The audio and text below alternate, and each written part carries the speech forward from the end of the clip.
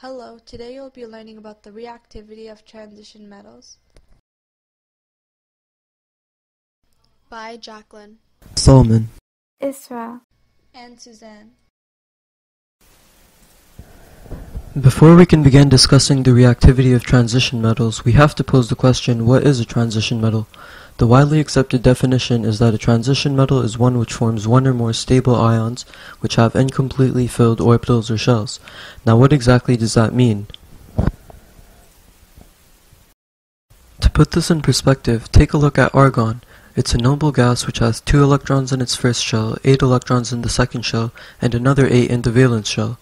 Scandium, which is a transition metal, only has 3 more electrons than argon, but its electron setup looks like 2 in the first shell, 8 in the second, 9 in the third, and 2 in the valence shell. Transition metals are able to exceed the 8 electron limit, going up to 18 and even 32 like in gold. Therefore, when scandium has 9 electrons in its third shell, it's incompletely filled. Now that we understand what a transition metal is, we can move on to where it's found, and that would be in the middle of the periodic table, specifically groups 3 to 12. They are what connect the metals on the left-hand side to the metalloids and nonmetals on the right-hand side, hence the name transition metals. Some common properties of these metals include the formation of colored compounds, they're good conductors of heat and electricity, they're malleable, meaning they can be hammered or bent into shape easily, and they have high melting and boiling points. And one more unique property that transition metals exhibit is the way they bond with other elements. Most elements use their last shell of electrons to bond with other elements, like calcium, but transition metals can use the last shell and the second last shell to bond, like copper. This is what allows them to have multiple oxidation numbers. For example, manganese, which is able to form ions with charges of 2+, 4+, and 7+. And lastly, transition metals tend to be a lot less reactive than the regular metals and nonmetals, except, of course, noble gases. I'll now be discussing the current state of research on transition metals. Due to many propositions stated worldwide, there is a numerous amount of research studies happening.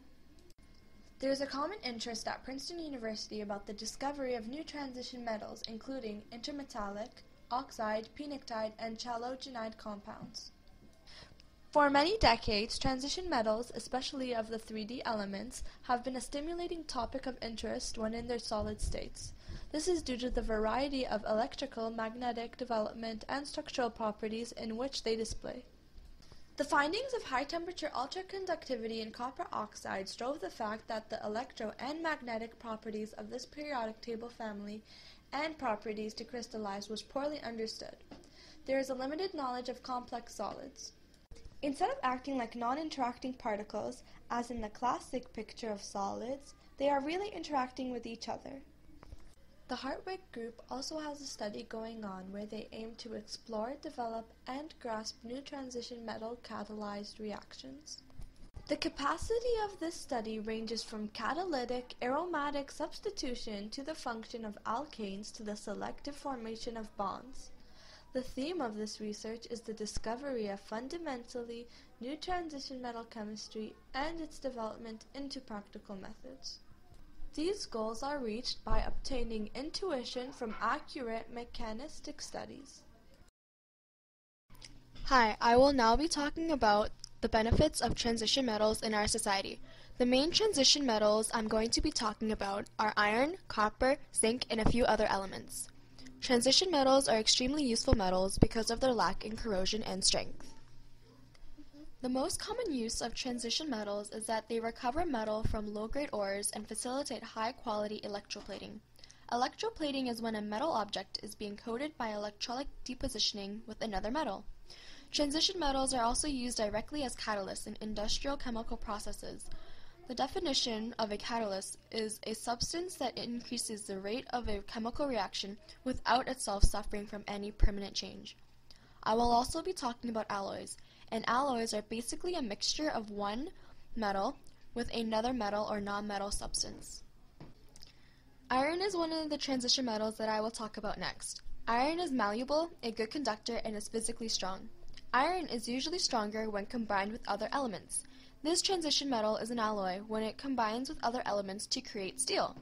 Now, steel is used in many structural items in the world, such as bridges, car, engines, kettles, and ships, and etc. The real importance of alloys is that they are designed to have properties for specific uses. For example, low carbon steels are easily shaped for car bodies because they are more malleable. High carbon steels are hard because more elements have been added to it, and stainless steels are resistant to corrosion and so on. Talking about copper, pure copper is too soft for many uses. They are mixed with small amounts of similar metals, forming an alloy that would make the copper stronger and harder for everyday use. Copper is used for electrical wiring and plumbing through houses. It is soft, which can be bent, but hard enough to make pipes, and it does not react with water, which is beneficial. For example, an alloy of copper would be brass. Brass is created with a combination of zinc and copper. The brass is harder than copper and zinc both, but is more malleable. It is used for fixtures, screws, springs, doorknobs, and instruments such as trumpets and trombones. Because the brass is in fact stronger, its advantage towards the society is that it does not rust, causes less, less friction, which means it remains smooth, it is easier to bend, and it is more environmental friendly because the brass pipes can be used in fewer amounts. There are many sites of corrosion of tower bases in the water, and because of this outcome, the corrosion causes severe damage that will cause a chain of reactions to our society. The benefits of zinc to the society is to help prevent corrosion on structures. Any steel structures being affected by the corrosion are usually protected with a zinc coating because it is less likely to corrode than iron. For example, in this picture, the tower has been painted but not protected. To prevent this from happening, zinc is sprayed onto the tower and then painted. Even when or if the paint is chipped away, corrosion will not occur unless all of the zinc is consumed. Gold is one of the few transition metals that does not corrode in water or air. Because it is highly unreactive, the bonds between the atoms and molecules tend to break and form another material. Gold is traditionally used for jewelry and decorative objects but can also conduct electricity.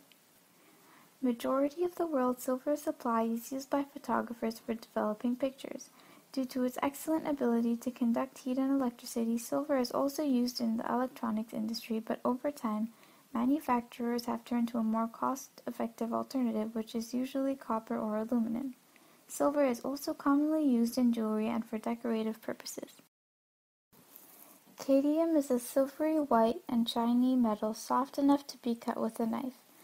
It chemically behaves much more like zinc, hence the idea of a zinc group. Today, cadmium is used in batteries and for electroplating of other metals to protect them against corrosion. Because the cost of cadmium is high due to the difficulty of separating it from zinc, cadmium electroplating is applied only in specialized situations. Cadmium also appears in the control rods of nuclear power plants where it's ready for absorption of Copper is an excellent conductor of electricity, so naturally it's used in the making of electricity cables. It's also bent into shape easily and does not react with water, so it's also used for water pipes. Scandium iodide is used in mercury vapor lamps, which are used to replicate sunlight in studios for the film and television industry. Scandium oxide is used to make high-intensity stadium lights.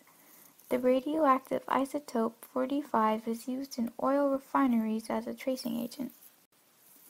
Zinc is used in alloys such as brass, nickel, silver, and aluminum.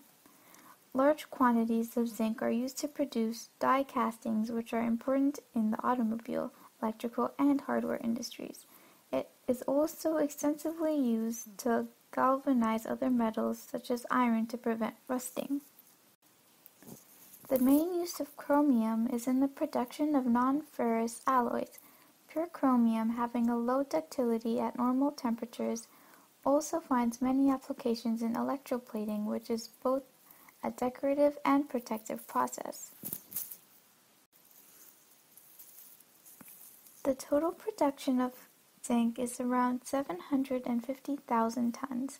Small amounts are used as catalysts for hydrogenation of unsaturated vegetable oils. Nickel is also well known as a useful catalyst for hydrogenation and other reactions in the lab and industry, often as the very finely divided form of Raney nickel. Thank you for listening to our presentation.